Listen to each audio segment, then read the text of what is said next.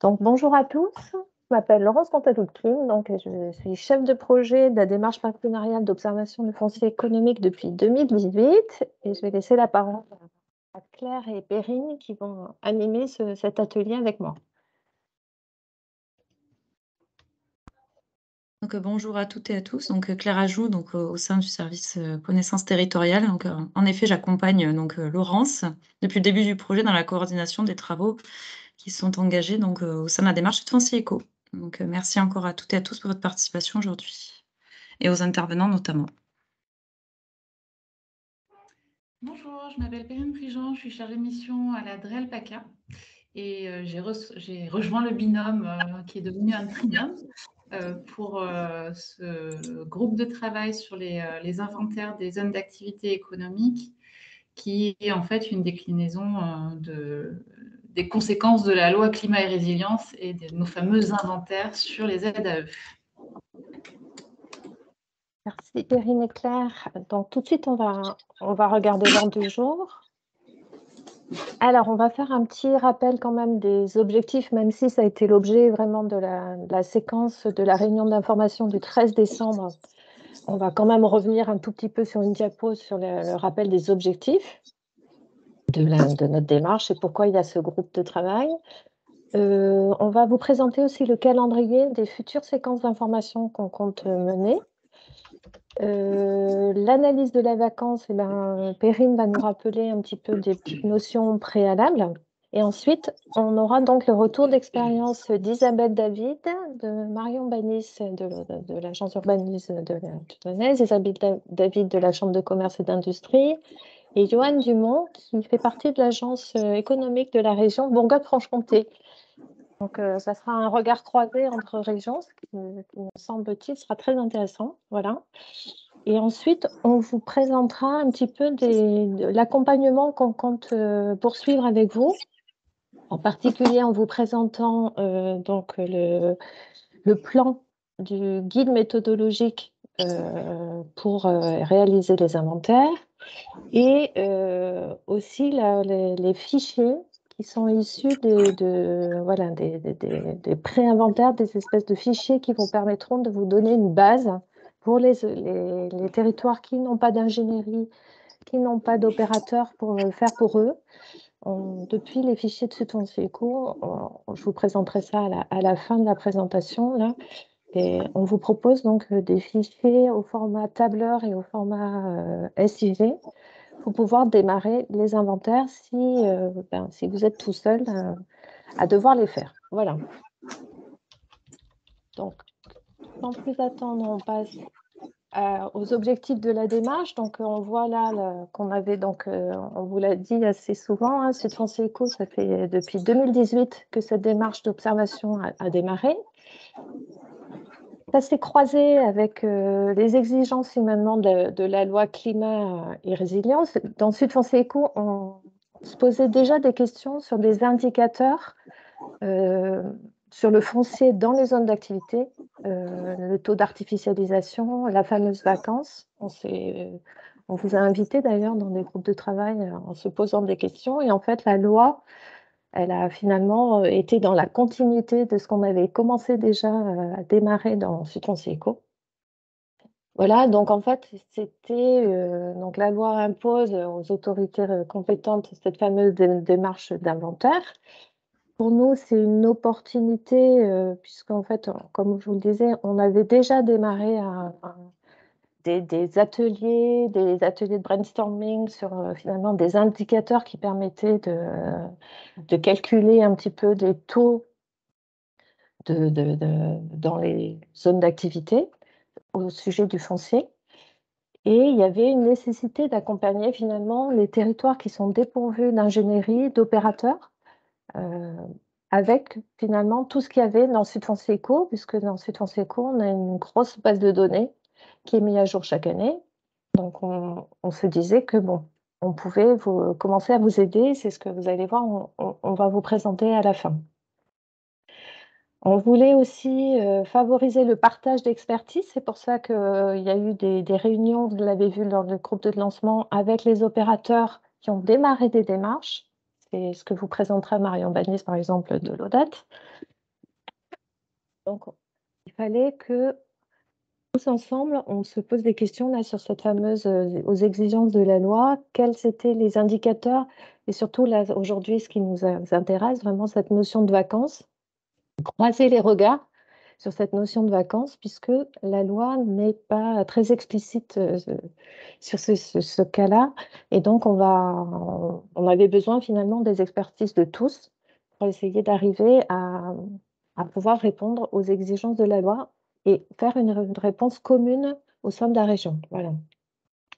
Donc, il y avait une volonté de la part des partenaires de Sud Foncier Eco et de l'État aussi, finalement, d'assurer une coordination régionale en faveur de la synergie hein, de ces démarches d'inventaire. Et donc, on vous propose depuis le 13 décembre donc des, voilà, des, ateliers, des groupes de travail, euh, etc., euh, pour, travailler en commun hein, sur euh, finalement arriver à avoir ces inventaires dans vos territoires. Voilà. On a, oui, comme je vous le disais, on a engagé ça le 13 décembre. Donc, je, laisse la parole à Claire qui va vous présenter les, le calendrier des futures séquences. Merci Laurence. Donc en effet, comme vous l'avez compris, aujourd'hui, euh, cette petite séquence d'information s'inscrit dans le donc au sein d'une série de plusieurs séquences, hein. donc euh, des séquences qui ont pour euh, à la base, qui trouvent leurs origines, on va dire, travers des différentes remontées, des questionnements qui nous ont été justement voilà retournés à l'issue notamment de la première séquence donc qui a permis l'engagement de cette démarche-là, donc le 13 décembre dernier. Euh, au gré effectivement des, questions mail aussi qui nous sont euh, remontées, au gré des, points spécifiques euh, sur lesquels il est nécessaire d'apporter des, approfondissements. Donc l'intérêt, c'est de vous proposer tout au long, on va dire, des mois à venir, plusieurs séquences d'informations. Donc là, on en a identifié justement, donc on a deux sujets qui nous paraissaient importants, donc avoir le, notamment le retour d'expérience d'une collectivité qui est relativement avancée, hein, pour laquelle nous avons l'opportunité de suivre un petit peu les travaux. Euh, donc, euh, ces séquences se veulent ouvertes. Euh, vous pouvez aussi, vous, vous positionner, proposer peut-être, pour proposer un, d'apporter un retour d'expérience spécifique ou au contraire, si vous avez effectivement un, besoin de, voilà, de précision sur un point particulier en termes de méthode, en termes de notions réglementaires, voilà, donc sachant qu'on va également prévoir aussi un petit point sur ces questions liées à l'interprétation de la loi et aux attendus, hein, donc notamment sur, sur la forme, sur les notions qui sont mises en avant dans les textes, qui sont des fois encore un petit peu euh, voilà, floues. Euh, l'objectif, c'est de pouvoir, sur un temps d'une heure trente, donc des, des ateliers où on, donc on prévoit donc on va dire une grosse partie de présentation de retour d'expérience et ensuite d'échange avec les intervenants. Donc euh, tout à fait euh, voilà prendre la parole. Donc euh, on vous laissera ce temps de parole à l'issue de chaque présentation pour pouvoir poser vos questions.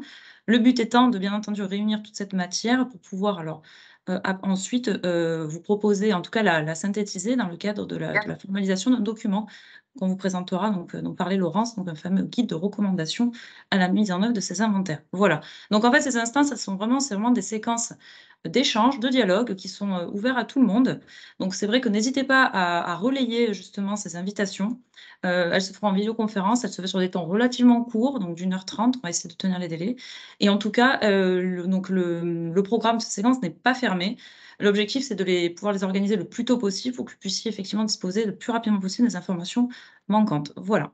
Donc, euh, en tout cas, on vous remercie pour euh, votre participation, pour l'intérêt, hein, puisqu'on est une soixantaine de personnes connectées aujourd'hui. Merci Claire. Donc, on passe la parole à, Perrine. Alors, c'est le petit topo sur euh, la réglementation telle qu'on la trouve dans le Code de l'urbanisme, qui est en fait la codification de la loi climat et résilience. Euh, sur les questions du taux de vacances, on trouve tout ça à l'article L318.8-2 euh, dans le troisième mot. Cet article qui nous dit le taux de vacances de la zone d'activité est calculé en rapportant le nombre total d'unités foncières de la zone au nombre d'unités foncières qui ne sont pas affectées à une activité assujettie à la cotisation foncière des entreprises depuis au moins deux ans au 1er janvier de l'année d'imposition et qui vont être par ailleurs euh, restées inoccupées au cours de la même période. Euh, quand on transforme ça en calcul, vous avez la, formule. Euh, au niveau des sources de données, évidemment, euh, tout le monde se tourne vers l'OCOMVAC. Mais quand on a des échanges avec vous et quand on, essaye de creuser un petit peu, on voit assez rapidement différentes limites. Les limites, c'est la première, la DGFIP ne transmet ses données qu'aux EPCI. Donc, euh, pour une agence d'urbain, une agence de développement ou pour la région euh, au travers de Sud Foncier Eco, on ne va pas pouvoir récupérer ces euh, données directement. le traitement de cette base de données pose pas mal de questions. La CFE ne couvre pas toutes les activités qui sont présentes en zone d'activité et on a même des pans entiers qui sont qui sont exclus, hein, notamment euh, tout ce qui est euh, loi montagne, ZRR, euh, QPV. Du coup, ça entraîne une vacance un peu déconnectée de la réalité territoriale de certaines collectivités. Et on va avoir des données qui sont soit manquantes ou qui posent question. Par exemple, la notion d'unité foncière vacante. On se demande si seuls les locaux qui sont occupés sont imposés. Or, sur un même foncier, il peut y avoir différentes activités. Le taux de vacances par euh, unité foncière pose également question. Est-ce qu'on calcule ça en surface dédiée à l'activité avant de calculer ensuite un taux de vacances euh, à la zone d'activité? Ou est-ce qu'on fait un seuil de locaux vacants à l'unité foncière pour déterminer que cette unité foncière est vacant et ensuite calculer une moyenne par rapport au taux euh, de chaque unité foncière de la zone d'activité ou est-ce qu'on fait un global? Est-ce qu'on parle de vacances euh, structurelles ou conjoncturelles euh, Sachant que euh, les échanges qu'on a eus dernièrement avec le CEREMA tendent à nous montrer qu'on va travailler plutôt sur de la vacance structurelle et donc pas conjoncturelle. Et il y a encore plein, plein d'autres questions. Vous nous en avez posé le 13 décembre dernier, lors du premier groupe de travail.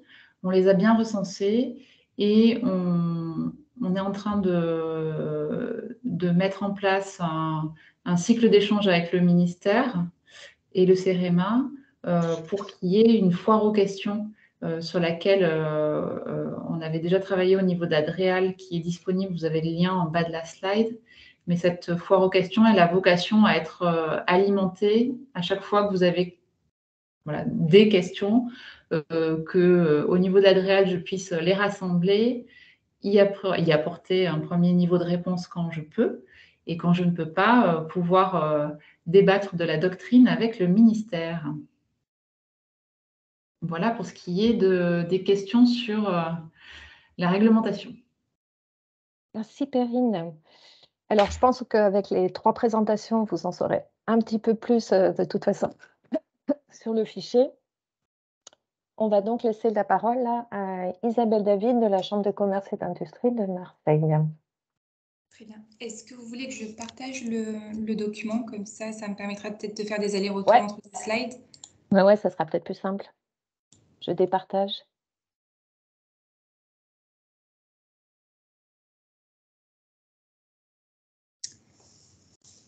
Euh, tout le monde voit le, document? Vous voyez le document? Oui, oui, très bien. Oui. Ok, euh, donc du coup là, avant de vous, faire part d'un retour d'expérience euh, par rapport à, donc, à l'utilisation du fichier LOCOM-VAC, je vais euh, rapidement hein, vous présenter le fichier donc, qui constitue une des sources d'informations fiscales sur la, la, vacance des locaux.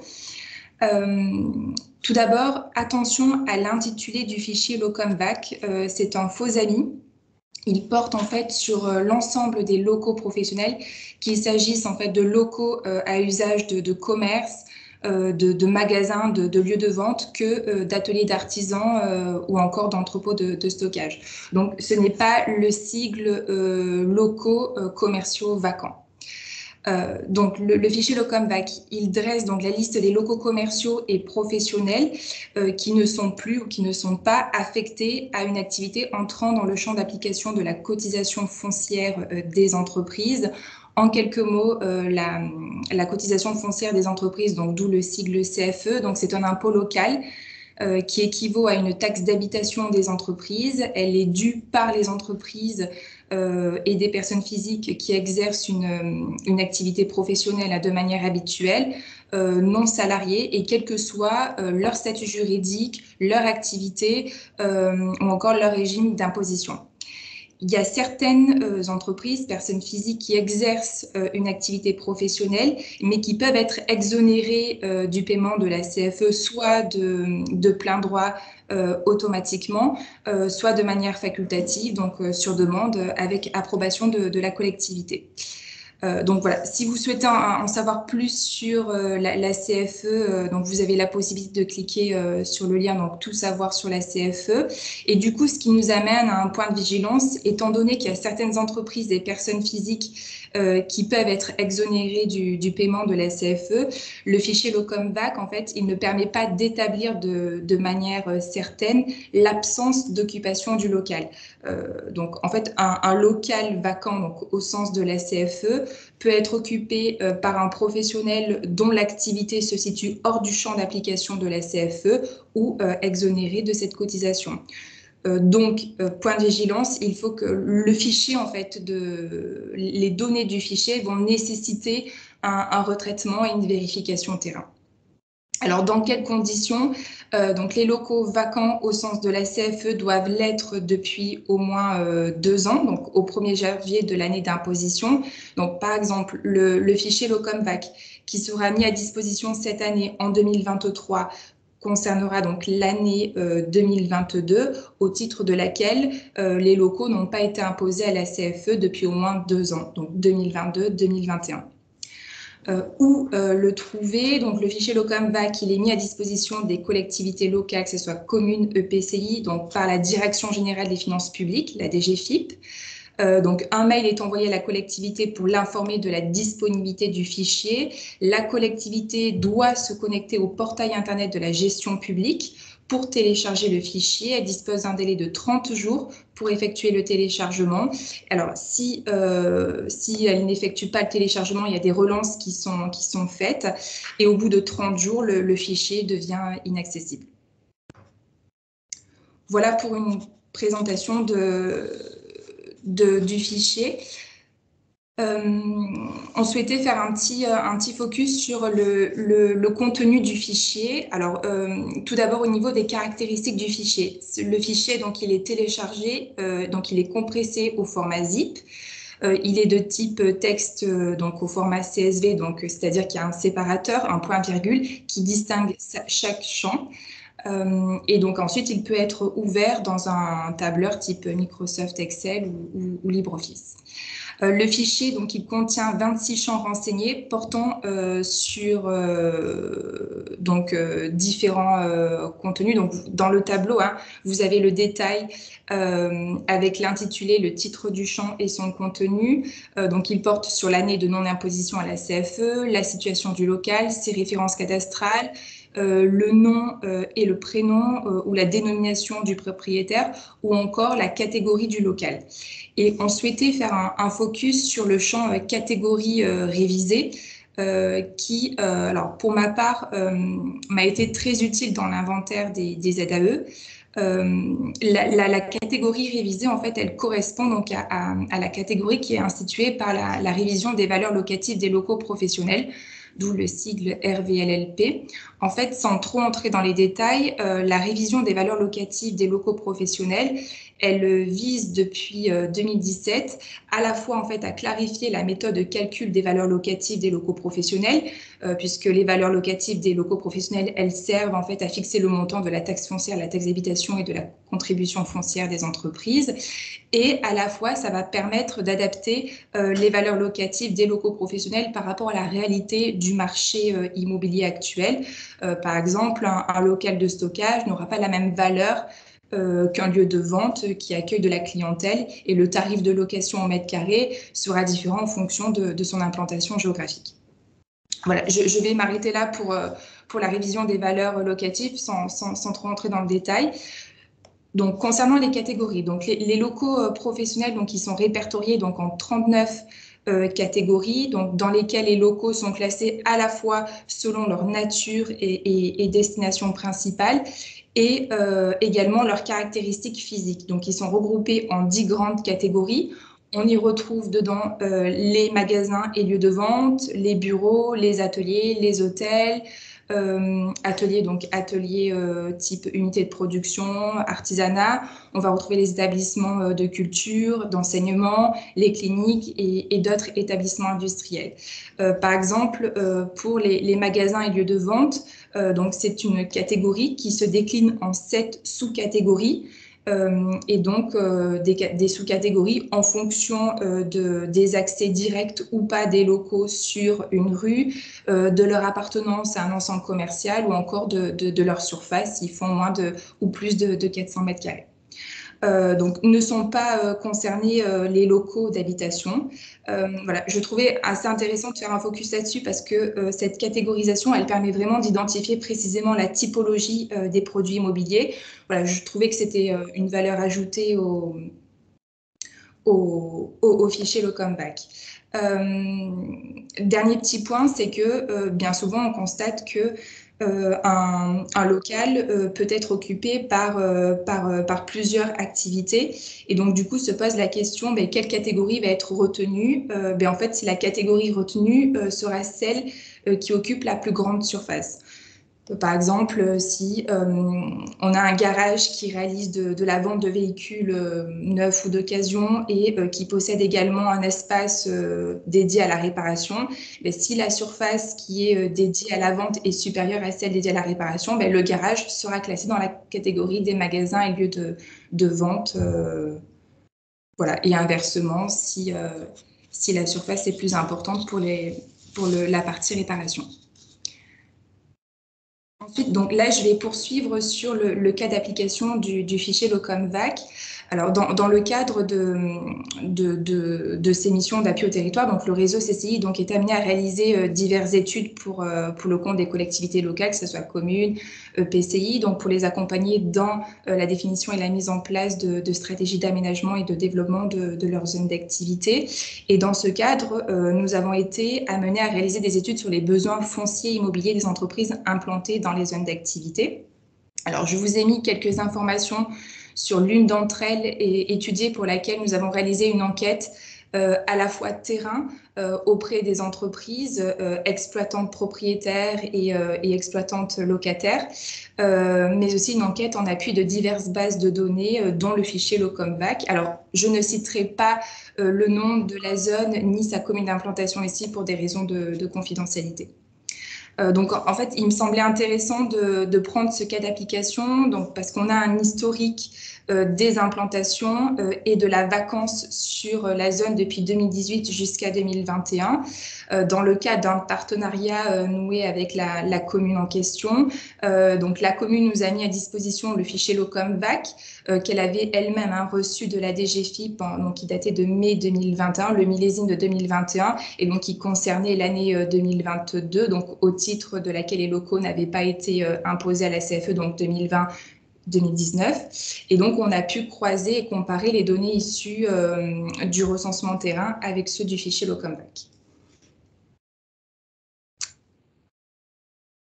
Donc, d'après le, D'après le fichier Locombac, donc euh, la zone donc elle comporte 33 unités foncières et donc sur les 33 unités foncières que compte la zone d'activité, il y en a 13 d'entre elles euh, qui comportent un ou plusieurs euh, locaux vacants donc au sens de la CFE.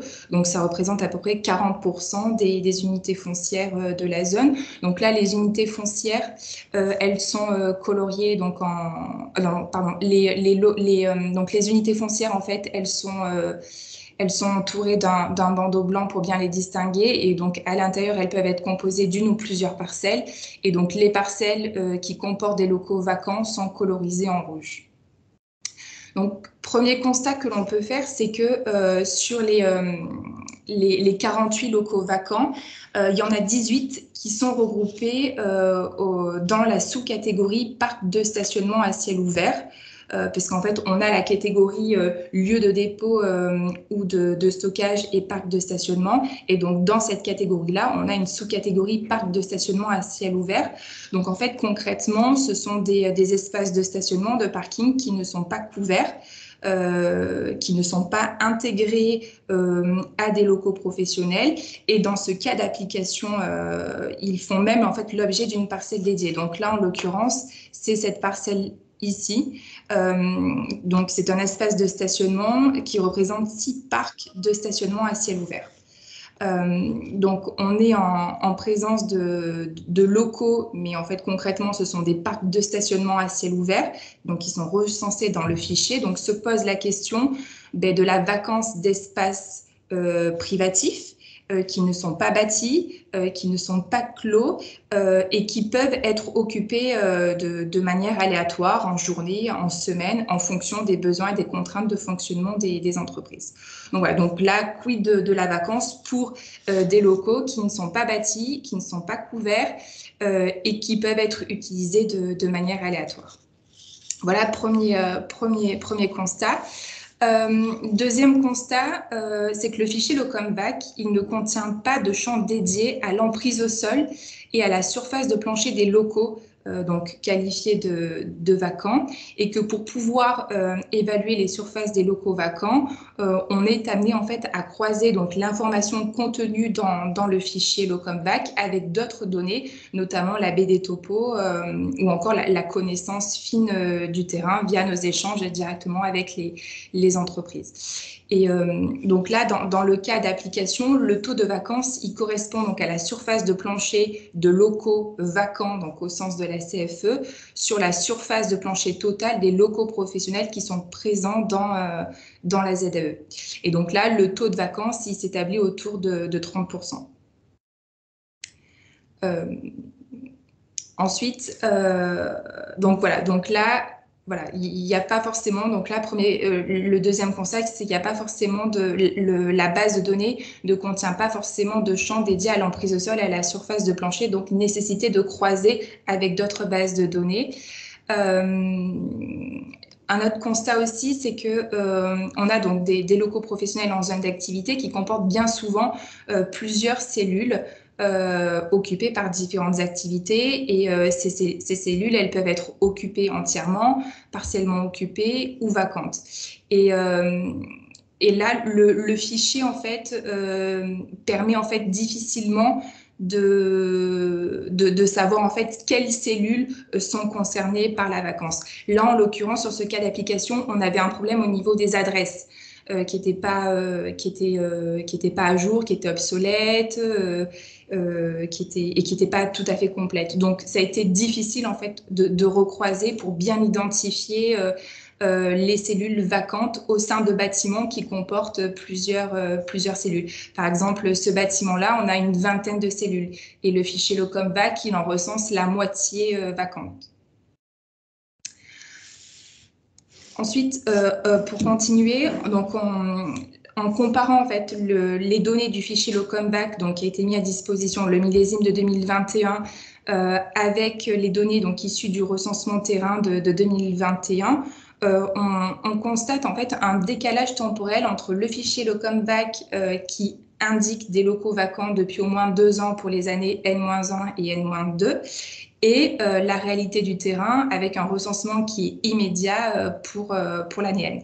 Donc, si je fais donc, si je compare par rapport, donc là vous avez donc le, les locaux vacants, mais alors euh, selon la, méthode basket, c'est-à-dire donc on est allé sur le terrain et donc on a fait du porte-à-porte, on a rencontré toutes les entreprises de la zone pour identifier euh, euh, les, les, locaux vacants. Donc là, d'après le recensement terrain, donc sur les 33 unités foncières que compte la zone, euh, il y en a 7 d'entre elles qui comportent un ou plusieurs locaux vacants, où on a une absence euh, d'occupation euh, du local.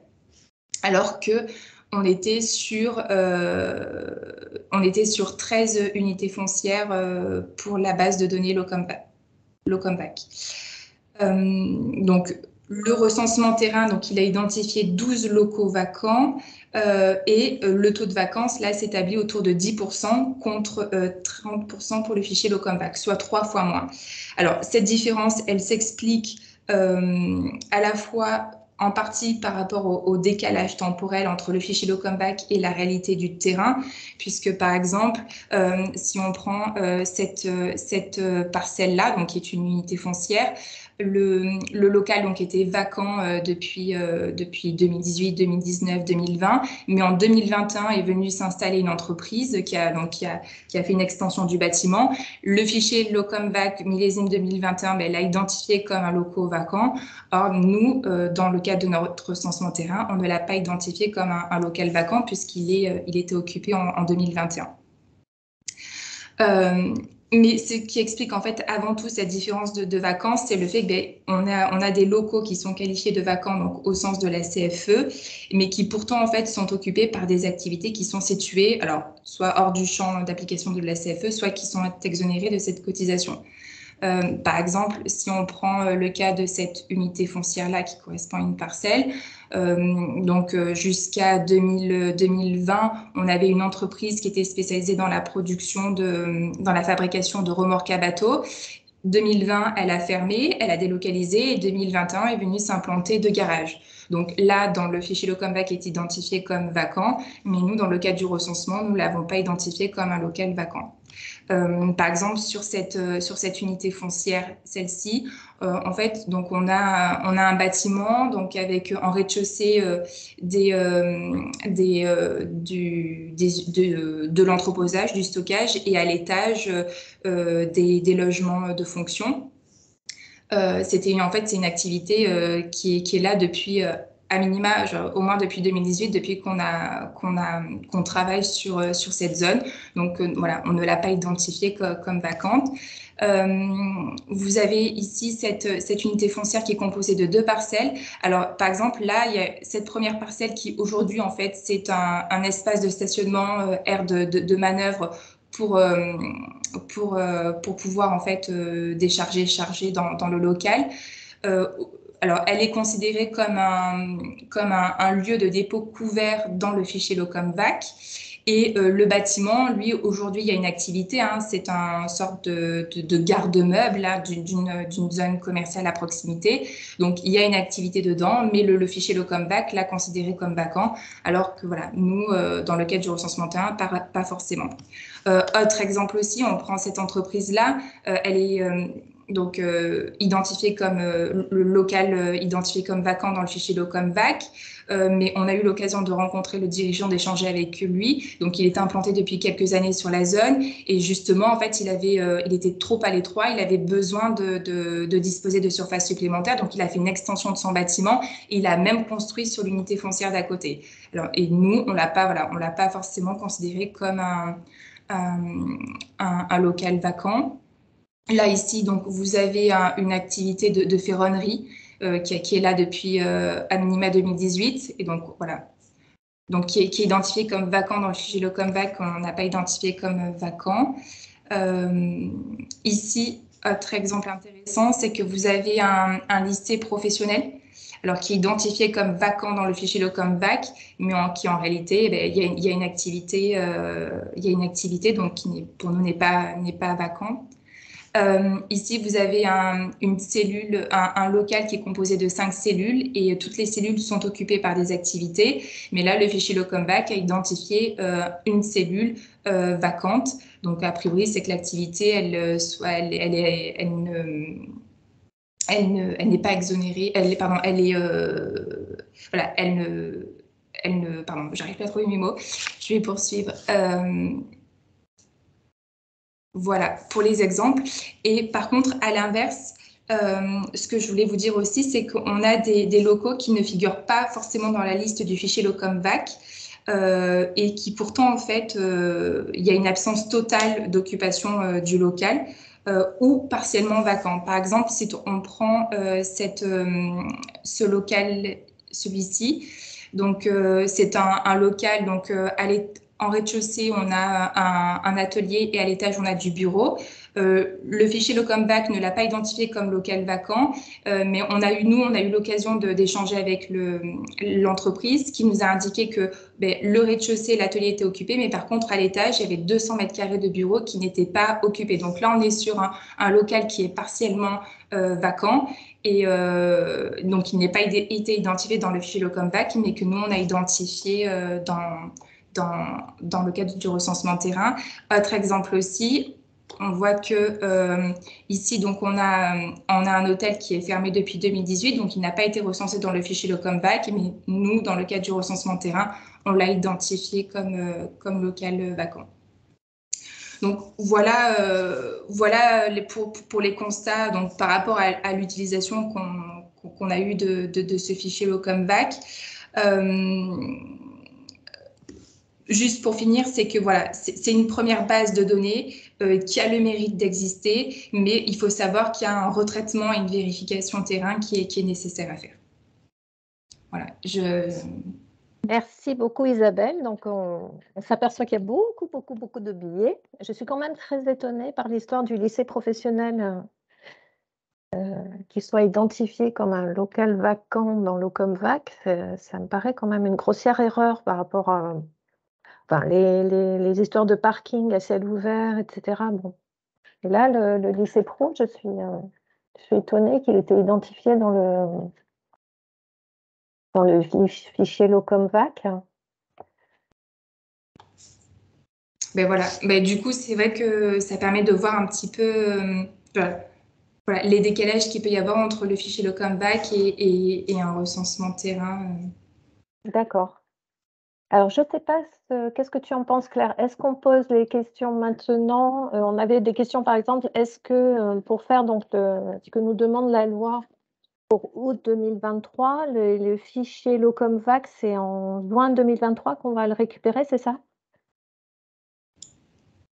C'est courant, oui, premier semestre de l'année. Alors, euh, depuis le confinement, il y a eu des...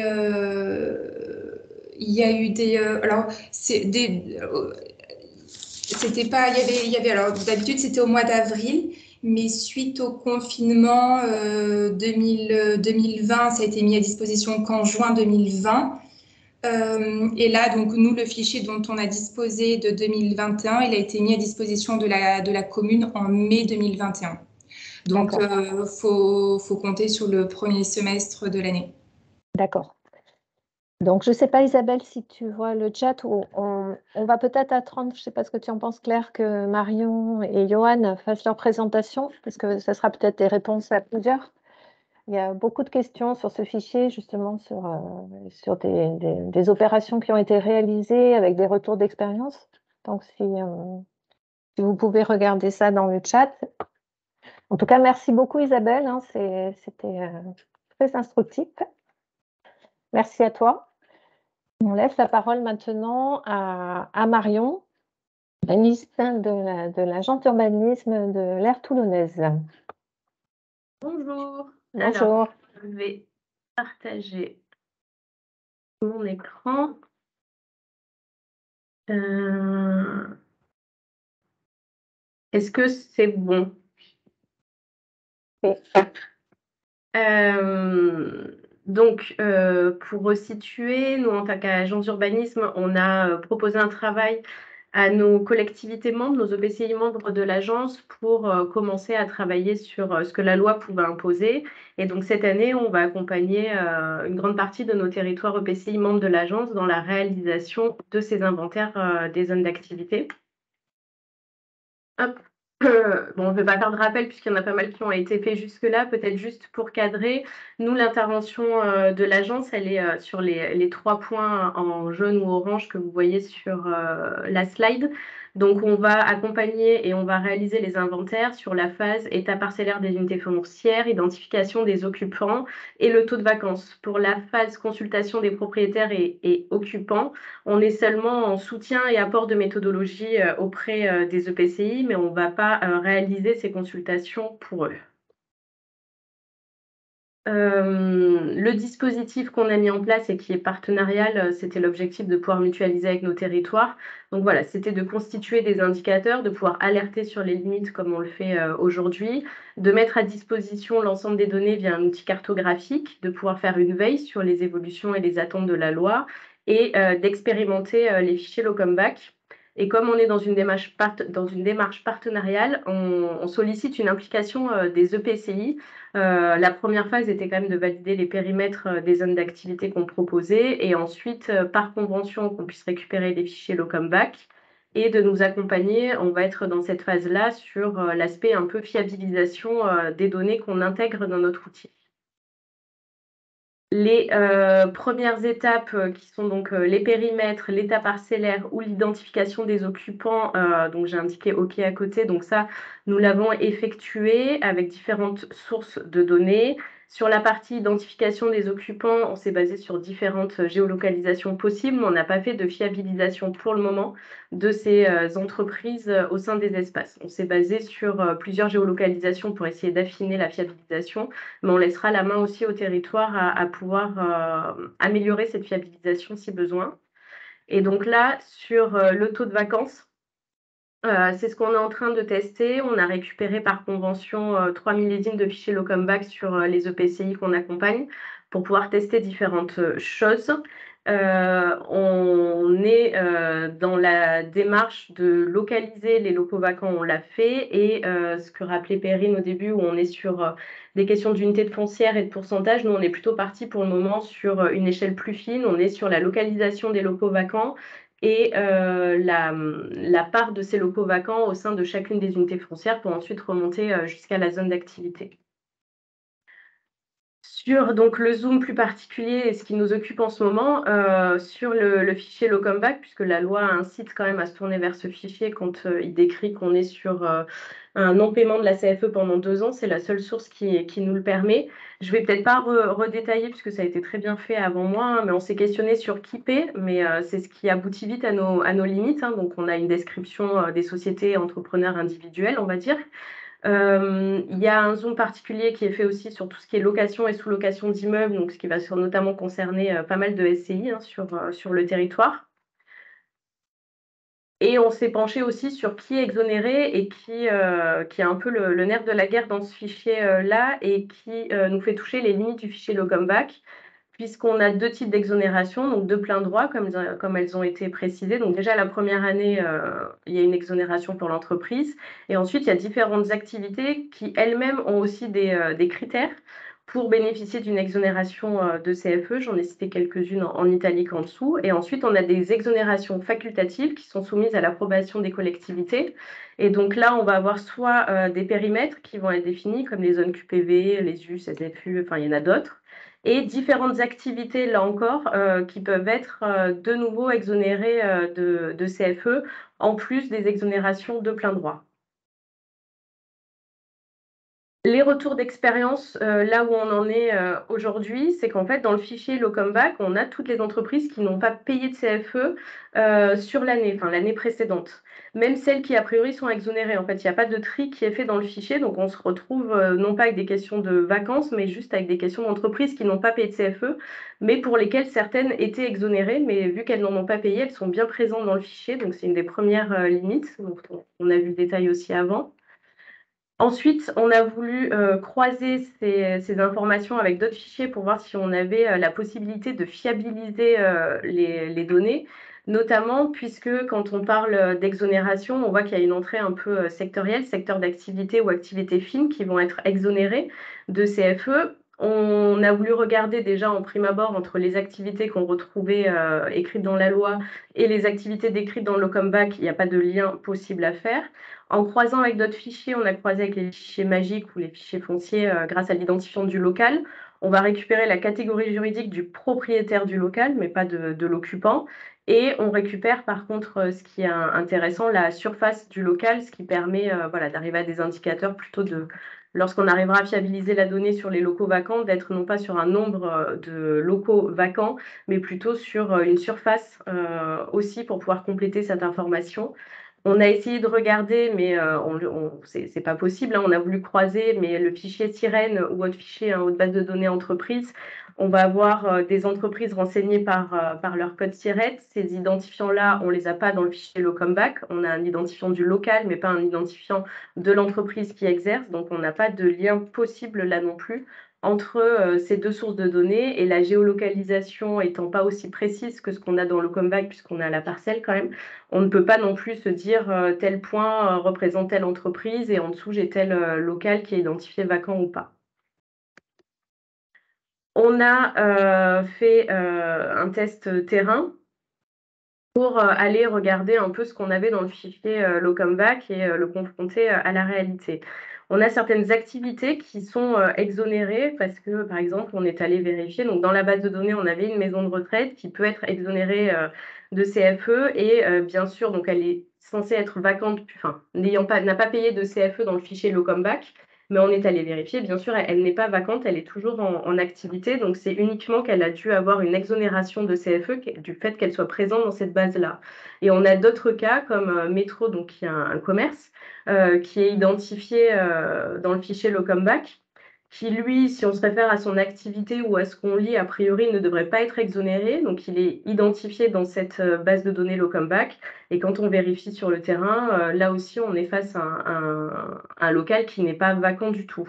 Sur euh, les, on va dire, sur une dizaine qu'on a fait sur une heure, on est allé voir 10, locaux identifiés dans la base Locumback. On en a recensé seulement deux qui étaient réellement vacants au vu du terrain effectué. Donc, euh, nous en sommes là à l'étape de fiabilisation, donc euh, les questions qu'on se pose. Euh, qui, alors du coup, vu qu'on est dans une démarche partenariale, on va associer bien sûr les EPCI qu'on accompagne en leur mettant à disposition un outil dont je vous montrerai un extrait rapidement pour qu'ils puissent aussi, par leur connaissance terrain, pouvoir défraîchir un peu ce qu'on va identifier au travers du fichier Locumback et dire si oui ou non il y a une réalité sur de la vacance. Donc comment grâce à notre outil et jusqu'à quel niveau C'est un peu la question euh, qu'on se pose et qui a été donnée. C'est que là, on peut, dans un premier temps, lister tous les, locaux qui sont identifiés dans l'Ocumback et aller les vérifier. Mais néanmoins, il y a certains locaux qui pourraient s'avérer être vacants et qui ne sont pas présents euh, dans le fichier Locumback aussi. Ce deuxième aspect, euh, ça sera à voir si on arrive à, avoir une approche pour fiabiliser ce côté ou pas, mais à minima, on aimerait trouver un certain mécanisme pour essayer de, nettoyer un peu le, fichier Locumback. Et voilà, pour donner euh, un aperçu de, l'outil euh, sur lequel on travaille avec les EPCI qu'on accompagne. Euh, on est sur un, un logiciel LISMAP euh, qui est quand même fermé de droit. Donc, chaque EPCI a ses identifiants et ses mots de passe, puisqu'on est sur les, euh, fichiers Locombac, on les récupère par convention, les fichiers magiques aussi. Donc, euh, chaque territoire peut uniquement voir son territoire et chacun a son propre identifiant. Ce qu'on a pu mettre dans cet outil aujourd'hui, donc on a localisé les périmètres des zones d'activité, on a pu géolocaliser donc les entreprises. Quand on a des chiffres, c'est juste qu'en zoomant, il y a plus, il y a, là par exemple, il y a 13 entreprises là-dessous. Euh, on a pu aussi regarder de manière un peu plus fine pour apporter un peu de matière. Je vais essayer de zoomer. Donc, on voit en gris, euh, on est allé rajouter euh, le découpage des bâtis en fonction si on est sur du bâti dur ou du bâti léger. Et ensuite, on a approché des questions d'unité foncière pour ne pas juste les, les localiser on a euh, calculé un coefficient d'emprise au sol, donc en fonction du bâtiment, et donc euh, la couleur va définir euh, la part du coefficient d'emprise au sol sur chacune des unités foncières. Et je vais décocher pour que ce soit visible.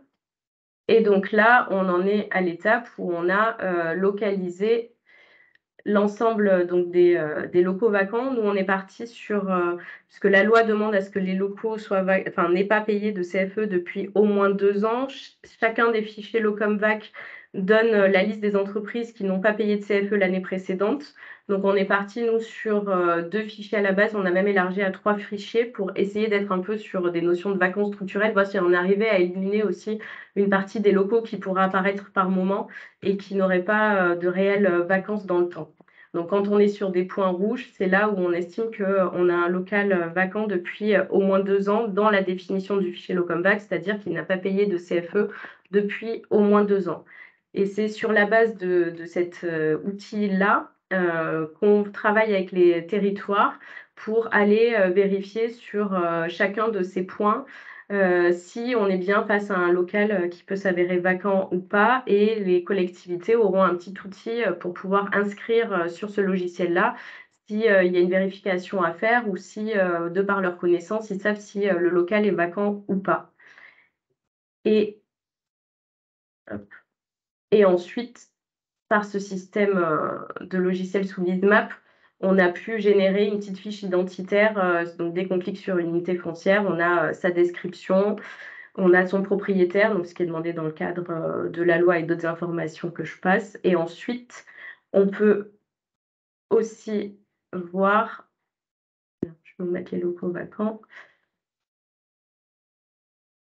Et ensuite, on propose pour le moment une petite représentation graphique qui nous donne, là par exemple, sur cette unité foncière, au sein de l'OCAMBAC, on identifie une entreprise qui n'aurait pas payé de CFE depuis au moins deux ans euh, et quatre qui euh, ne sont pas identifiés dans l'OCAMBAC, donc qui, ont bien payé leur CFE depuis au moins deux ans. Là, pour le moment, on est sur du dénombrement. À terme, on ira sur des questions euh, de surface, puisqu'on a pu croiser euh, les données avec euh, les fichiers magiques pour pouvoir compléter cette information par aussi des notions de superficie.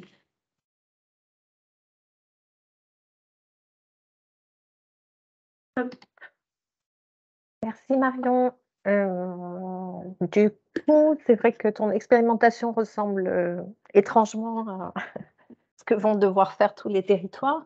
Donc, est-ce que tu peux, par exemple, préciser, tu, as dit que vous avez utilisé trois millésimes euh, du fichier LOCOM-VAC au final. Est-ce que tu peux donner les trois millésimes que vous avez utilisés euh, Parce qu'il y a eu des questions là-dessus. Euh, quel, millésime est utilisé pour remonter dans la loi et sur les deux ans, là, les fameux deux ans? Du coup, vous avez utilisé quel millésime alors? On est parti sur trois fichiers, vu qu'on est en en expérimentation, en fait, on essayait de, définir une méthodologie. Donc après, on se calera sur le dernier euh, millésime disponible. Euh, moi, j'avais en tête avril 2023, mais à voir quand euh, il est disponible. Et donc, on a demandé aux collectivités, pour le moment, nous, pour expérimenter les trois derniers fichiers Locomvac qu'ils avaient. D'accord. C'est quoi ça alors? Ça fait 2022, 2021, 2020 Ça doit être 2019, 2020, 2021. D'accord. Parce que là encore, on ne sait pas. Enfin, pour le moment, on est sur ces fichiers-là. Après, euh, de ce que nous, on, interprète, pour le moment, euh, la loi n'indique pas jusqu'où il faut aller. Enfin, peut-être que euh, ces trois millésimes peuvent suffire et auquel cas, on travaillera sur cela. Après, la démarche qu'on a là aussi avec les territoires, c'est de, répondre à ce que la loi demande. Mais après, c'est de pouvoir les accompagner aussi à s'outiller un peu mieux sur une meilleure connaissance de leur zone d'activité et auquel cas on, complétera d'informations euh, plus euh, à jour pour euh, leur apporter à eux des éléments plus conjoncturels. Là, voilà, on, jongle entre ce que la loi demande et le fait d'inciter aussi à avoir un meilleur dispositif d'observation pour certains territoires qui n'en auraient pas aujourd'hui et de pouvoir compléter. C'est pour ça qu'on a un outil cartographique. Je n'ai pas présenter tous les éléments, mais on a mis aussi les permis de construire, des locaux d'activité, etc. On complète aussi avec euh, une approche euh, un peu plus complète. foncière, juste, euh, ouais, pas jusque-là encore pour le moment, mais en tout cas, on essaye de mettre l'ensemble des informations qui peuvent être disponibles, que nous, on estime, par exemple, les fichiers Citadel qui donnent les locaux d'activité, les permis de construire sont assez fiables, donc on les met. Après, on met les limites sur la géolocalisation des entreprises, pour le moment, il y a l'Ocomba qui est euh, géolocalisé, donc on a fait le lien entre trois fichiers. On est allé même, euh, voilà, on est allé un peu loin pour essayer de vraiment euh, voir ce qui pouvait être un peu structurel. mais là aussi, on met les réserves sur, c'est pas parce que c'est indiqué que c'est vacant. Et on a tellement de cas particuliers où on a un gros printemps, où du coup, dans le printemps, on a 10 locaux identifiés dans, dans le comeback, qui sont en fait les corners du printemps, qui louent leur, on comprend, là, on est dans un mécanisme d'essayer de comprendre en fait euh, comment s'applique euh, cette taxe selon les différentes situations. On essaye de comprendre les activités qui sont à exonérer, de voir si on a un moyen, parce qu'il y a aussi toute une entrée d'activités exonérées sur euh, tout ce qui est action sociale. Donc là, par exemple, il y a des foyers de jeunes mères isolées qui sont identifiés dans le comeback, mais on sait que voilà, eux sont exonérés. Donc on essaye de trouver un peu ce qui peut nous aider à faire un premier tri dans le comeback pour réduire euh, un peu euh, au minimum ce qu'il faut aller euh, vérifier sur le terrain, mais c'est un peu step by step. ben, écoute, merci beaucoup Marion. C'était vraiment aussi une présentation édifiante à propos de ce sujet. Et donc maintenant, on va laisser la main à, Johan Dumont. Bonjour à tous. Bonjour. Je vais envoyer le partage d'écran. Donc effectivement, je suis l'intrus aujourd'hui puisque je suis en région Bourgogne-Franche-Comté. Oula, voilà. pour vous dire quelques mots sur l'Agence économique régionale de développement de Franche-Comté, donc c'est l'équivalent d'une ARD hein, dans, dans la Bourgogne-Franche-Comté. On a la particularité d'avoir un statut de SPL, euh, donc, euh, qui nous confère la particularité d'un fonctionnement étroit, en étroite relation avec nos actionnaires, que sont les collectivités locales, notamment la région Bourgogne-Franche-Comté. Je salue Frédéric qui est connecté à la réunion, et, euh, nos 73 EPCI actionnaires. moi, je suis géomaticien, donc le principe, c'est de mettre la cartographie au service du développement économique. Et donc, le fil rouge, c'est bien la connaissance du foncier économique. Euh, je vais vous faire euh, un retour d'expérimentation euh, des inventaires loi climat réalisés en Bourgogne-Franche-Comté. Alors, on a commencé dès l'année dernière, en 2020 et en 2022, et on s'est intéressé au sujet justement parce que on avait certains territoires ou certains SCOT hein, qui nous ont sensibilisés très largement en amont sur euh, la, loi à venir et sur ses inventaires. Alors, je vais peut-être encore faire une redite, mais c'est pas grave. L'inventaire euh, est confié aux EPCI dans le cadre de l'article 220 de la loi climat et doit être rendu le 23, pour le 23 août 2023. Il doit comporter, et les intervenants précédents l'ont bien dit, un état parcellaire des unités foncières, euh, comportant bah, notamment la surface et le nom des propriétaires, l'identification des occupants et puis un taux de vacances. Alors, bien entendu, euh, en fonction des besoins et des interprétations, il y a certains préféreront le calculer en fonction de la surface.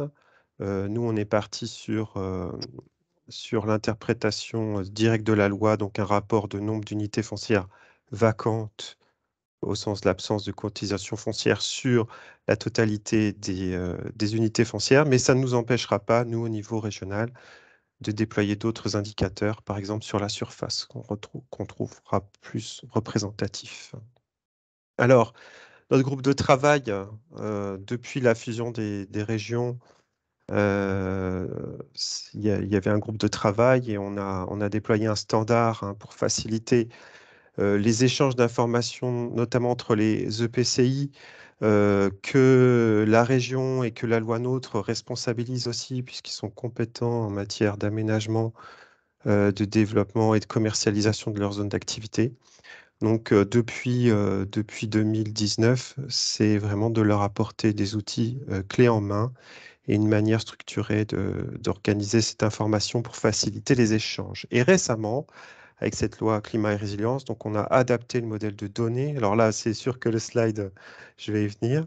On a, on a adapté le modèle de données euh, pour euh, pouvoir répondre à ces enjeux d'inventaire, sachant qu'à l'origine, on avait trois couches décrivant l'emprise des zones, le foncier économique avec, euh, avec quatre dimensions, la maîtrise foncière, le stade d'aménagement, de commercialisation et d'occupation, et puis euh, des points euh, correspondant aux entreprises. Alors, on a adapté cette démarche en ajoutant des éléments d'inventaire et le groupe de travail aussi travaillé à essayer d'élaborer une, euh, une, méthode étape par étape. Donc, la démarche répondait déjà à l'inventaire, lister les zones et les délimiter. La donnée étant cartographiée, effectivement, on est dans la possibilité facilement de reconstituer les listes de propriétaires et les unités foncières. Les étapes qui vont être les plus importantes dans, la démarche euh, sont bel et bien le relevé des occupants et euh, le, relevé des vacances. Pour la suite, ce qui est des calculs, euh, établir la vacance par unité foncière ou l'indice de vacances, je reviendrai sur les logiques euh, qu'on a, qu'on a appliqué. Donc, je vais rentrer un petit peu plus dans le détail de ces deux étapes qui, pour nous, sont incontournables.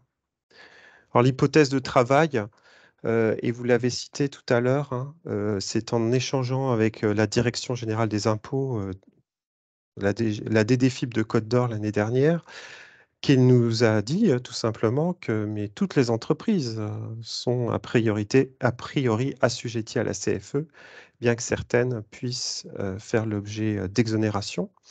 Et on a fait la réalisation un petit peu directe, mais que l'INSEE avait la même définition de l'entreprise et donc qu'a priori, tous les établissements inventoriés dans le répertoire sirène, en tout cas ceux qui veulent bien y, apparaître, sont assujettis à la cotisation foncière des entreprises. Donc pour nous, on est parti de la base des établissements du répertoire sirène.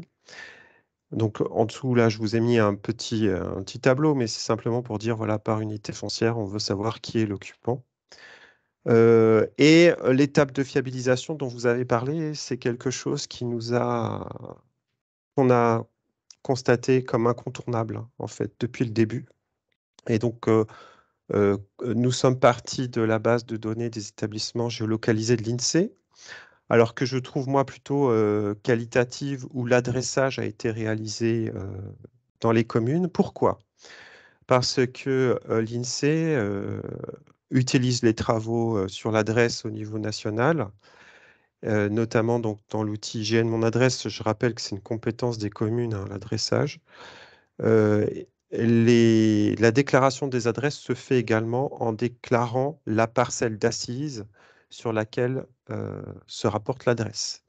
Et nous avons constaté que là où l'adressage était fait correctement, l'INSEE localisait quand même plutôt bien, à 70% des cas, correctement les établissements. Donc, vous avez également dans cette base de données la possibilité de remonter le temps et de retrouver tous les établissements qui étaient actifs au 1er janvier 2020, 2021, 2022 et maintenant 2023 pour avoir un historique en fait aussi dans le temps. il y a un défaut de qualité, bien sûr, c'est l'adresse qui est déclarée par l'entreprise elle-même. Si elle a été implantée il y a très longtemps, son adresse ne va pas forcément correspondre ni à un numéro, ni à un, nom de rue. Donc là, effectivement, on va avoir des erreurs pour 30% des cas. Et là, il n'y a que la visite terrain qui permet de, le corriger. Donc nous, on procède par indexation sur les unités foncières ou sur les bâtiments, bâtiments principaux ou tous les bâtiments. En fait, on a numéroté dans les zones d'activité l'ensemble des bâtiments et des unités foncières. Et on recommande donc la méthode par indexation, c'est-à-dire qu'on recherche. Donc sur le terrain, pour vous dire, euh, parce qu'on l'a testé, on part avec euh, QField, avec euh, notre base de données d'établissement, et on fait la recherche et on affecte en fait un identifiant, un localisant, et on se retrouve avec le style de correction que vous avez à l'écran, des, des, adresses en fait pour les rapporter sur leur tenement et leurs unités foncières. Alors pourquoi on fait ça? C'est justement pour fiabiliser l'utilisation du fichier Locomvac. Alors nous, on est parti sur la méthode Locomvac également, puisque pour le fichier 2021 qui a été utilisé pour les inventaires les plus récents sur nos EPCI, il, il dénote aussi d'une vacance au cours des deux dernières années et parce qu'il présente l'avantage d'être, pouvoir, de pouvoir être apporté à la parcelle. Donc là, vous avez un exemple fictif, bien entendu, de localisation d'établissement sur une zone d'activité, établissement vacant.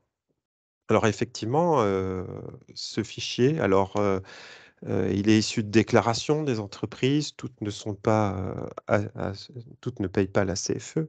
Donc il va y avoir effectivement beaucoup de bruit. en tant que tel, je ne vais pas revenir sur ce que vos collègues ont dit précédemment pour la récupération du fichier, mais en tout cas, ce sont les EPCI qui sont ayant droit. je vais plutôt Voilà, c'est une déclaration des entreprises. Donc, il peut toujours y avoir une différence par rapport à la réalité du moment.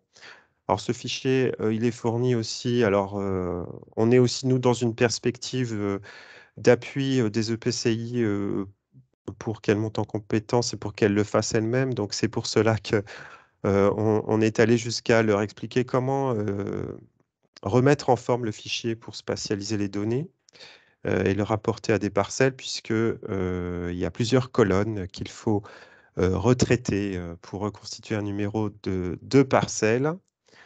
et puis, alors là, vous avez l'exemple du fichier des locaux vacants sur les zones d'activité de l'agglomération de Vesoul. donc, vous voyez qu'il y a énormément de points. simplement, je reviendrai aussi, puisque avec la visite terrain, ça nous a permis de confirmer, par exemple, des, des opportunités mobilières qui étaient vraiment présentes et qui correspondaient vraiment à de la vacance. Et puis en noir, on va dire des points noirs, des friches ou des présomptions fortes de vacances, on n'a pas vu d'occupants. Et en fait, tout ce que vous voyez en bleu, les autres locaux vacants identifiés par l'eau comme vac, mais qui, en réalité, si on doit le calculer, l'indice de vacances n'est pas à prendre en compte parce qu'il y a des occupants déjà présents sur les unités foncières. Alors nous, on a une approche vraiment à l'unité foncière telle que, enfin en tout cas l'approche qu'on apporte, c'est celle qui va permettre de répondre à la demande de la loi. Donc pour l'instant, on n'est pas dans une perspective d'aller jusqu'au local, mais au moins de répondre déjà sur les unités foncières. Alors comment on fait cette détermination? Eh C'est bien en croisant la, présence ou l'absence des occupants avec la présence ou l'absence de vacances au sens de vac. Donc c'est soit il n'y a aucun occupant, ou alors où l'occupant répertorié ne, correspond pas aux critères, aux critères d'assujettissement à la CFE au cours des deux dernières années. Par exemple, si l'établissement est fermé. Donc vous avez dans le répertoire INSEE la possibilité de, retrouver les dates d'ouverture ou fermeture euh, des établissements. Donc, c'est des informations qu'on a fait remonter. Et la combinaison avec la présence ou l'absence de l'OCOMVAC. Alors, on a aussi des particularités d'occupation hein, sur les zones parce que parfois, il y a des occupants qui ne sont pas forcément des entreprises. Donc, Sirène ne répond pas complètement aux besoins. c'est le cas, nous, on a vu des SDIS, des déchetteries, des bâtiments communaux. Donc, on va relever, nous aussi, comme des occupants dans une couche spécifique.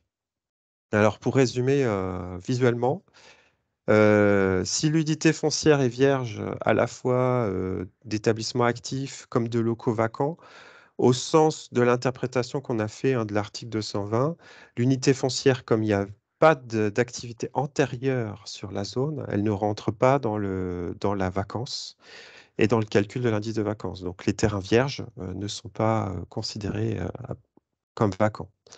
On a ensuite le cas où il y a des occupants. Donc dans ce cas-là, qu'il y ait un local vacant ou pas, on considère que l'unité foncière n'est pas vacante au sens de l'article 220 de la loi climat et résilience.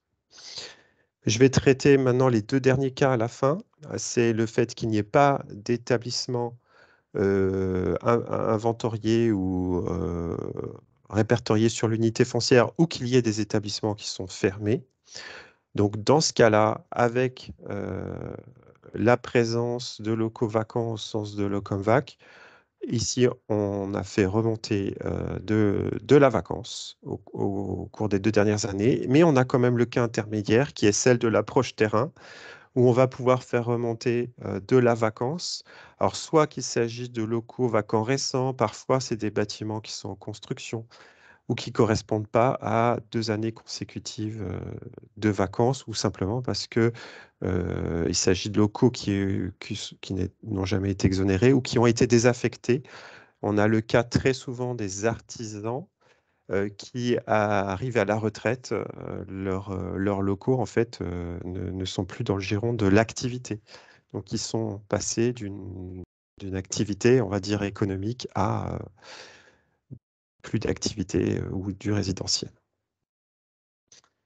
Alors pour vous montrer l'exercice, un petit peu le résultat sur une, autre zone de Vesoul, on a fait remonter euh, les unités foncières qu'on voit vacantes. Donc vous voyez qu'au sens de l'Ocomvac, vous avez tout ce semis de points qui apparaît à l'écran. Euh, mais effectivement, tout n'est pas concerné par de la réelle vacance. Par ailleurs, on a aussi pu identifier des terrains qui faisaient l'objet peut-être de friches anciennes ou qui avaient été rasés et qui présentaient de la pollution et qui là n'étaient pas, pas forcément inventoriés non plus dans le Comvac, mais qu'on a pu faire remonter avec le relevé terrain. Donc voilà le travail qu'on a fait, la méthodologie qui a été proposée aux EPCI de Bourgogne-Franche-Comté, certaines pouvant aussi déployer tout à fait leur, leur propre méthode. Alors, conclusion sur l'usage du fichier Locomvac, euh, il est plutôt valide pour deux années consécutives. On le trouve plutôt fiable parce que les terrains, les, bâtiments qu'on a identifiés comme vacants étaient inventoriés la plupart du temps dans l'OCOMVAC, hein, sauf les, bâtiments les plus récents, comme dit tout à l'heure. Mais donc les 80%, je le tiens de, Besançon, hein, qui a fait ses tests aussi d'inventaire, plutôt, plutôt fiable, mais son usage seul ne permet pas de répondre à, notre sens, euh, à, la détermination de la vacance, il faut bien le confronter avec la présence ou pas d'occupants sur l'unité foncière. Donc pour nous, l'enjeu, c'est euh, aussi déplacé, parce qu'on pas, n'a pas une donnée encore suffisamment euh, fine, mais c'est déplacé sur localiser avec précision les entreprises et les établissements sur leurs unités foncières respectives afin de pouvoir faire ces croisements-là à l'échelle de l'unité foncière. Donc ça nécessite effectivement d'aller sur le terrain pour euh, relever la vacance. Je vous remercie. Merci Johan pour cette présentation précieuse aussi. Je pense que ce qui est intéressant aussi, c'est les croisements que vous avez faits, par exemple, avec le fichier des entreprises pour croiser euh, si le fichier a fermé ou pas dans Sirène, et du coup vérifier un petit peu mieux. Mais c'est quand même assez étonnant que vous considériez que 80% du fichier Locomvac est, est, valide alors qu'on a des retours là de, de nos deux témoins de la région sud euh, qui, sont, qui ont l'air euh, beaucoup euh, plus mitigés, on va dire, sur leur expérimentation. Mais bon, voilà. Et aussi, ce qui va être intéressant, c'est de voir comment vous, nettoyez euh, a priori le fichier Locomvac pour aller euh, directement chercher euh, l'identifiant parcellaire, etc. Je pense que les présentations, de toute façon, on va les déposer. Ça a été demandé dans le chat. Hein, on, on, va vous les déposer. C'est enregistré, donc vous pourrez voilà, donc les trois présentations ont été faites. Je pense qu'on va laisser la place un petit peu aux questions. Il est, euh, presque écart et après on a quand même deux diapositives encore à vous montrer. Donc on, vous laisse peut-être la main, je ne sais pas, vous, pouvez vous poser des questions. Allez-y. Monsieur Secarilli, vous pouvez y aller.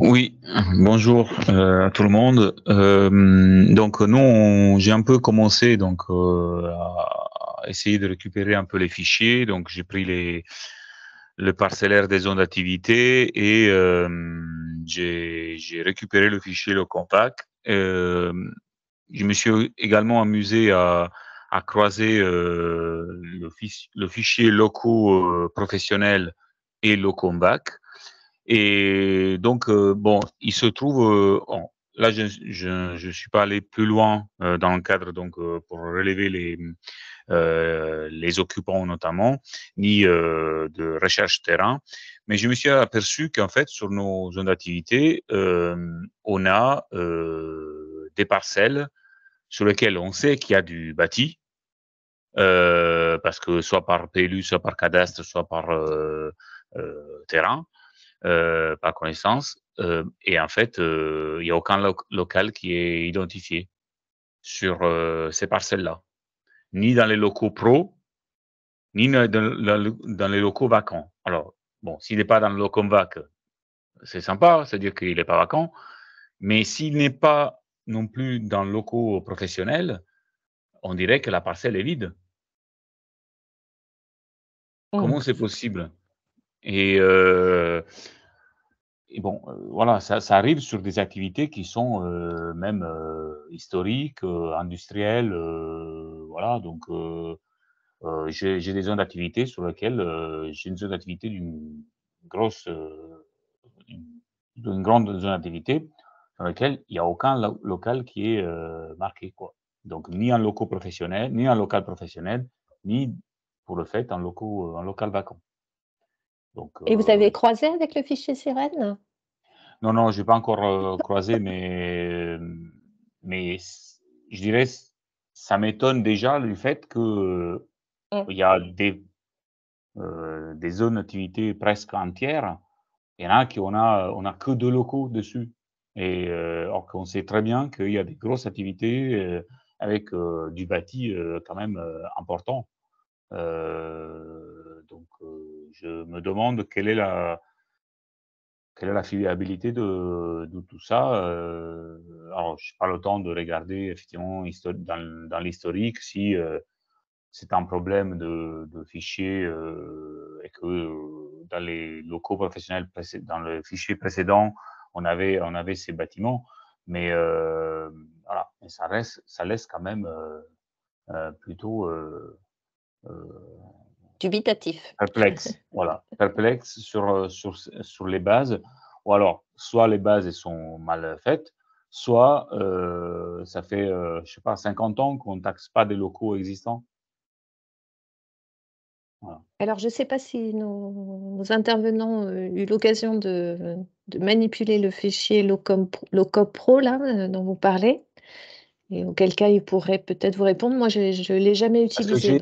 J'ai des locaux professionnels existants, non donnés comme vacants. Et j'ai des locaux euh, euh, professionnels. J'ai tous les cas, en fait. J'ai la parcelle. Je sais qu'elle est occupée et aucun local est identifié. J'ai la parcelle dans laquelle le local professionnel est identifié et les données vacants dans les locaux VAC. Et j'ai aussi le local professionnel identifié dans le local pro, mais qui n'est pas vacant.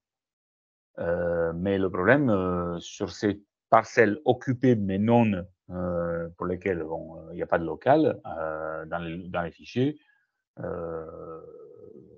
ça laisse quand même perplexe et ça veut dire que peut-être il y a toujours, oui, il y a des parcelles, il y a des locaux, mais qui ne sont pas dans ces, dans ces fichiers, donc ils sont vacants. Bon, bien sûr, il faudra faire du terrain, mais comment, comment on peut expliquer une telle. parce que ce n'est pas, pas un petit local qui manque là, ce n'est pas le bâti annexe, c'est des fichiers, de, enfin les locaux d'entrepôts, d'entreprise ou, voilà. Moi, je pense qu'il y a nécessairement un croisement à faire spatial hein, avec le, fichier SIRET. Je ne sais pas, Marion, ce que tu en penses, mais vous allez être obligé de faire ça. Mmh. Fatalement, hein, vous allez avoir vos points.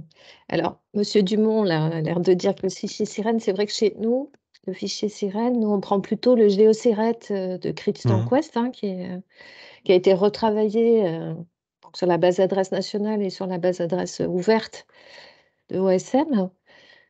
Sirène, euh, en fait, maintenant, sur les entreprises de plus de 10 salariés, il y a eu un gros effort effectivement de fait sur leur localisation, qui sont en zone d'activité. Mais bon, c'est c'est pas la majorité de nos établissements euh, en région. Dites hein, GeoSiret, c'est ça? C'est les GeoSiret sur un site de DataGouv. Là, vous allez le trouver, les, fichiers euh, géolocalisés au département fait par Christian Quest, hein, qui, fait ça automatique, qui a automatisé hein, des moulinettes pour aller géolocaliser, parce que la difficulté des établissements en zone d'activité, c'est souvent les adresses. Mmh. Pas des adresses vierges bien normées, type de voie, nom de voie, et du coup on se retrouve avec zone d'activité bidule, et forcément le point il est un petit peu, il est un petit peu au hasard. Voilà. Donc moi ce que je vous conseillerais quand même, c'est effectivement de recroiser euh, vos locaux, les locaux vacants et le, fichier Sirène, un peu comme euh, l'expliquait euh, Monsieur Dumont dans sa présentation. D'accord. Vous avez d'autres questions sur les trois présentations? Bon, c'est vrai qu'il y a beaucoup de choses à, faire, mais beaucoup de terrain. Bon, nous, on n'a pas beaucoup, beaucoup de zones d'activité, donc c'est c'est faisable, mais c'est vrai que. Ah. Euh D'après les trois témoignages, je pense que malheureusement, les relevés terrain ont l'air d'être euh, un petit peu systématisés. on va peut-être prendre d'autres questions, d'autres remarques? Non, ça, je vois pas de main qui se lève. Claire, tu regardes toi aussi de ton côté? Alors, il y a eu beaucoup de questions en effet sur, euh, sur le chat. Alors, je ne sais pas si les gens veulent prendre la parole directement pour les poser. Euh, donc, il y a des remarques en effet hein, sur la question euh, surtout de la, de, la, de la grosse hétérogénéité de qualité, peut-être en fonction effectivement des territoires, notamment dû bah, voilà, à la problème de, localisation et d'adressage. Hein, donc, ça peut y jouer. Il y avait une question euh, donc de Charlotte Jaworski sur quel est le profil des interlocuteurs identifiés dans les collectivités qui vérifient les infos. Voilà, je ne sais pas si, euh, si du coup Charlotte, tu veux préciser ta question. Oui, bonjour, c'était par rapport à la présentation d'avant de l'agence d'Urba euh, de l'aire toulonnaise puisqu'ils ont expliqué qu'ils avaient mis un outil à disposition pour qu'il y ait de la vérification qui soit faite. Ça, voilà, en fait, quelles étaient les personnes qui avaient, qui étaient, qui avaient l'information en tout cas pour vérifier, vérifier tout ça? Est-ce que, est-ce que c'était des personnes qui avaient été identifiées facilement? Est-ce que ça marche? Est-ce qu'elles jouent le jeu? Un peu ce retour-là de savoir euh, voilà, c'était c'est des personnes qui sont dans les, dans les directions économiques. Je sais pas, je, je, m'interroge parce que c'est vrai que nous, on a aussi on a du mal à la métropole à identifier les personnes ressources en fait. Donc euh, si voilà, si Marion pouvait euh, répondre. Ouais, on n'en est qu'au début de la phase de vérification. En fait, notre démarche, on l'a initiée en 2022 avec, euh, en fait, on a mobilisé tous euh, les services économie des EPCI membres de l'agence. Donc, euh, c'est plutôt les services éco, d'Eveco des EPCI. Là, on a différents territoires qu'on accompagne et le premier avec qui on a un échange qui est prévu, donc c'est la métropole. Donc, on a le directeur du service économie et le responsable de la gestion des zones d'activité sur la métropole et on fait une session de travail euh, d'abord avec eux euh, dans nos locaux avec euh, l'outil cartographique que j'ai montré où on va balayer, faire un premier tri. Et ensuite, on va leur mettre à disposition. Je pense qu'il y a des choses qu'ils identifieront facilement parce que comme nous, on, le disait par exemple sur notre printemps où on a plein de, locaux identifiés, mais en fait, on voit bien que ce n'est pas de la vacance. Donc, en fait, il y aura une partie sur leurs connaissances propres et après, euh, on va définir avec eux comment euh, on peut euh, se répartir ce temps de vérification. C'est pour ça qu'on essaye au maximum de voir si on a un moyen quand même de pouvoir faire un premier tri dans l'Ocomeback sur certaines activités cibles où on sait qu'elles peuvent être exonérées. On essaye aussi de voir, puisqu'en fait, les collectivités peuvent, dans le cadre de délibération, voter d'exonération d'activité. Donc, on essaie de récupérer ces documents-là aussi pour essayer de voir voilà, tout ce qu'on peut euh, éliminer. Et après, sinon, pour répondre à la question, nous, euh, pour le moment, on est euh, en contact, avec, en contact plutôt avec les directeurs chargés d'études ou du service économie des collectivités qui, eux, après, s'organisent en interne. On a pas mal d'échanges aussi avec les services SIG quand elles en ont un au sein des collectivités pour valider les différentes étapes. D'accord, ok. Bon, SIG, pas forcément éco. Non, ça va dépendre. Euh, à la métropole, ils ont quand même euh, au sein du service SIG euh, des personnes dédiées plutôt à certaines thématiques et à certaines gestions de données avec qui on travaille déjà habituellement, donc on se réfère un peu à eux. Mais on l'a fait par exemple ne serait-ce que pour définir les périmètres des zones d'activité entre ce que nous on soumettait et la réalité que eux ont. Donc on va redessiner avec eux les périmètres pour bien acter sur la bonne base de départ.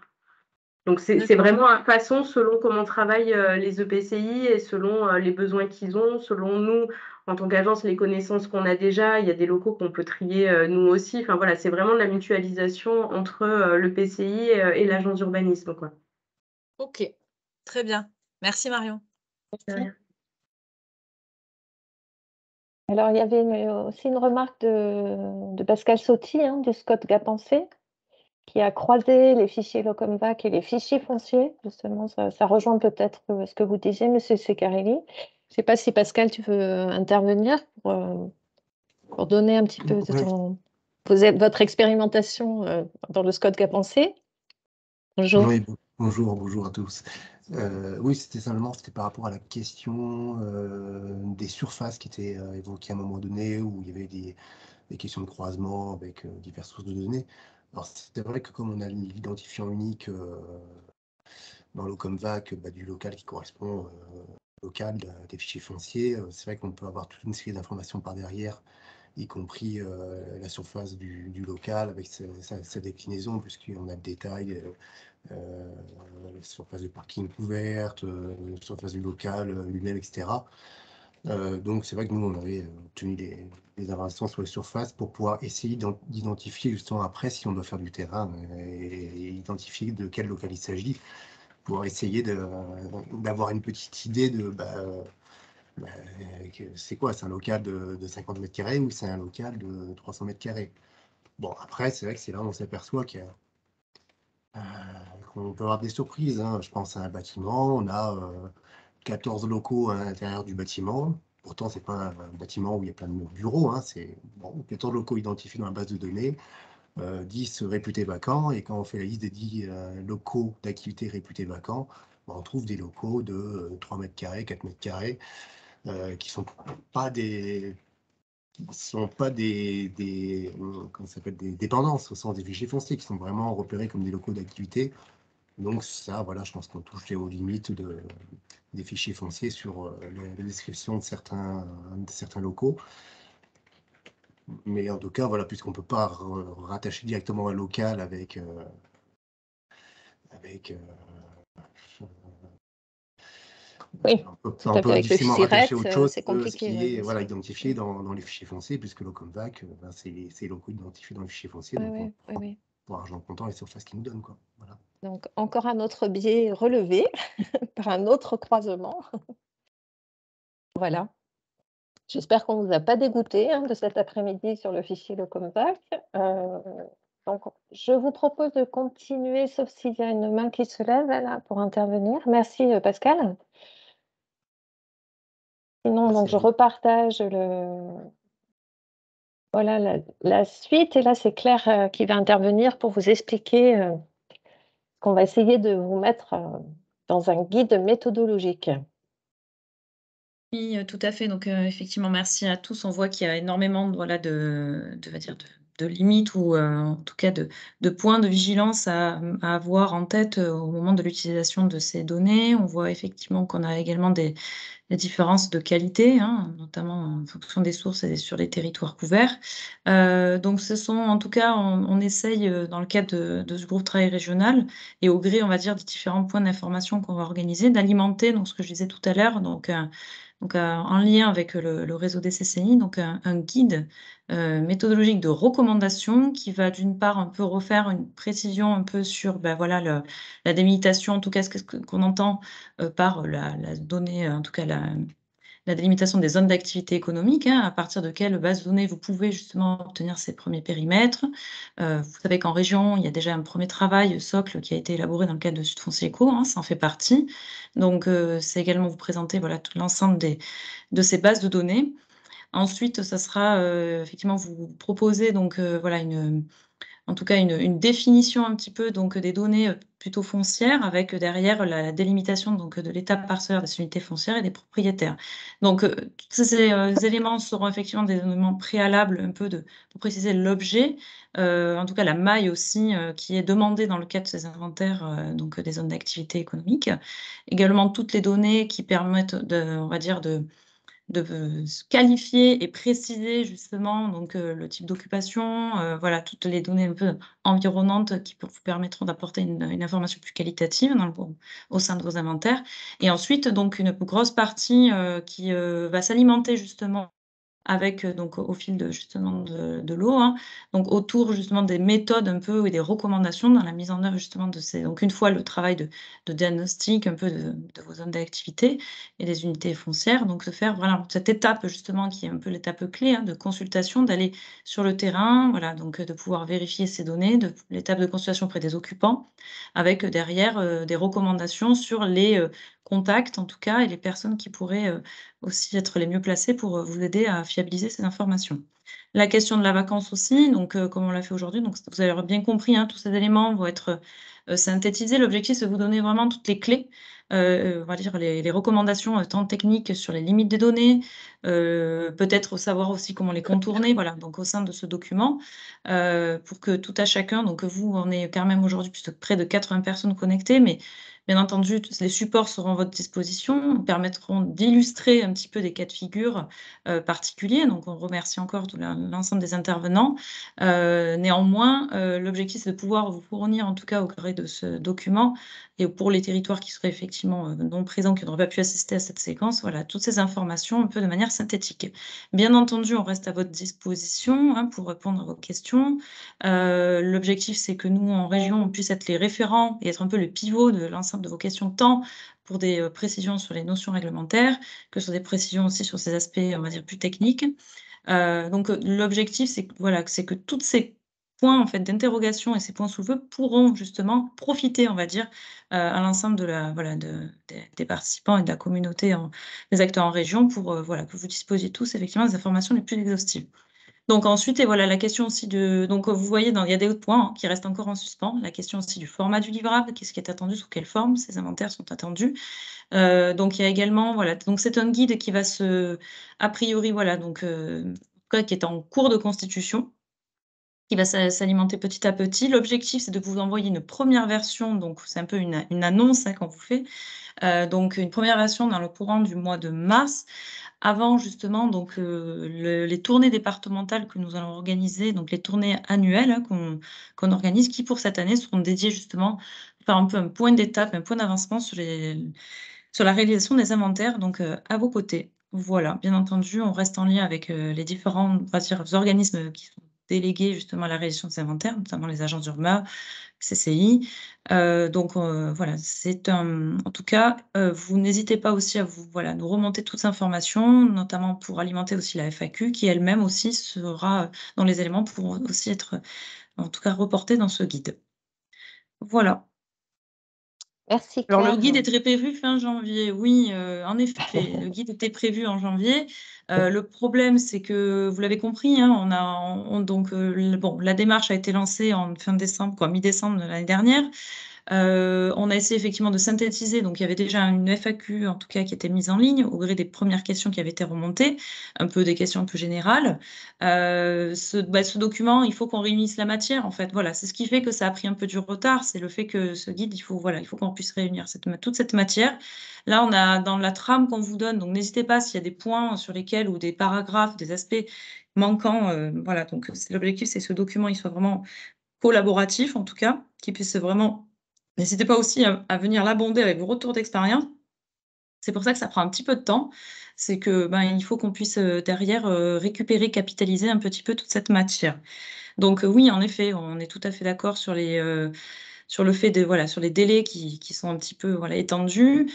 pareil sur l'étape de consultation. Donc c'est vrai qu'on a des territoires qui se proposent aussi, qui ont déjà avancé sur ces questions-là.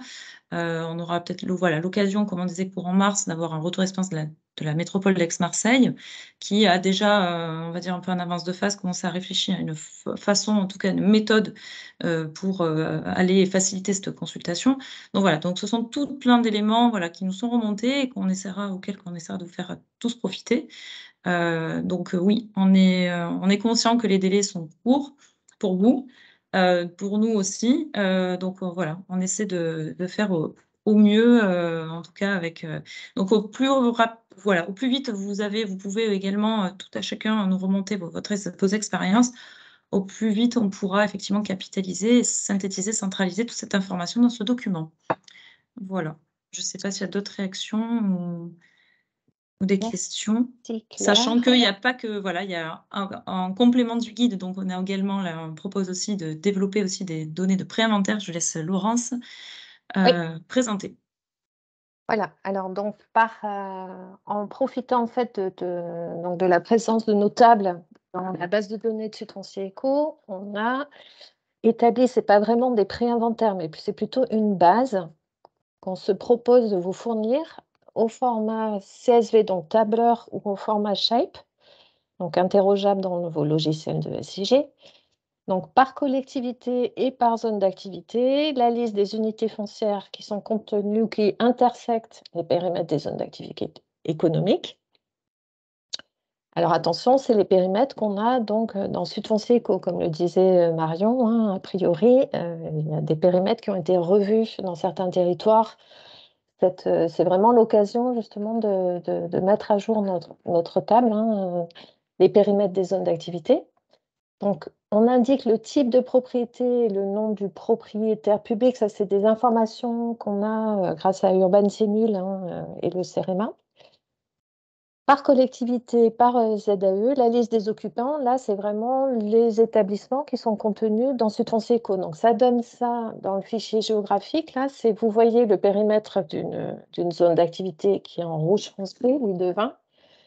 Les occupants, c'est les points des établissements euh, qui sont dans la zone d'activité. Et vous voyez les unités foncières qui ont été retenus et vous vous, dites aïe aïe aïe, pourquoi cette unité foncière ici est? Liée Mais en fait, parce que euh, la numérisation des périmètres des zones d'activité, la numérisation des unités foncières n'ont pas été réalisées aux mêmes échelles et donc on se retrouve avec des, tout petits taux de recouvrement qui font que l'unité foncière a été quand même conservée. Donc nous, on a conservé euh, vraiment l'exhaustivité. Ça sera à vous de dire non, celle-là, il n'est pas du tout. Euh, voilà. Ça donne ça euh, du point de vue attributaire. Hein. On va avoir l'identifiant de la ZAE, l'identifiant de l'EPCI, l'identifiant de l'unité foncière et du coup le SIRET qui est dedans, son enseigne, sa raison sociale et vous avez dans ce foncier l'origine de la source. Finalement, est-ce que c'est ce fameux fichier Christian Quest ou c'est le fichier consulaire? Les fichiers consulaires de 2018 qu'on avait euh, récupéré euh, par le réseau des CCI en démarrant notre projet Sud-France Eco. Voilà, vous avez euh, le nom, les compléments d'adresse, etc., l'entreprise qui est présente dans les unités foncières au sein des zones d'activité. Donc ces fichiers sont livrés avec une note méthodologique hein, qui vous rappelle Surtout le dessin d'enregistrement, qu'est-ce qu'il y a? il y a? beaucoup de champs. Je ne sais pas si je, peux peut-être montrer, partager les documents. Hop. Euh, hop, hop, hop. Excusez-moi deux secondes. Hum, hum, hum.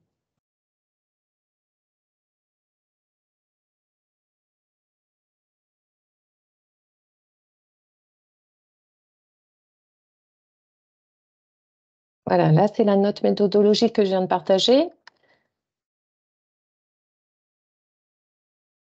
Les sources qui ont été mobilisées, les biais, attention.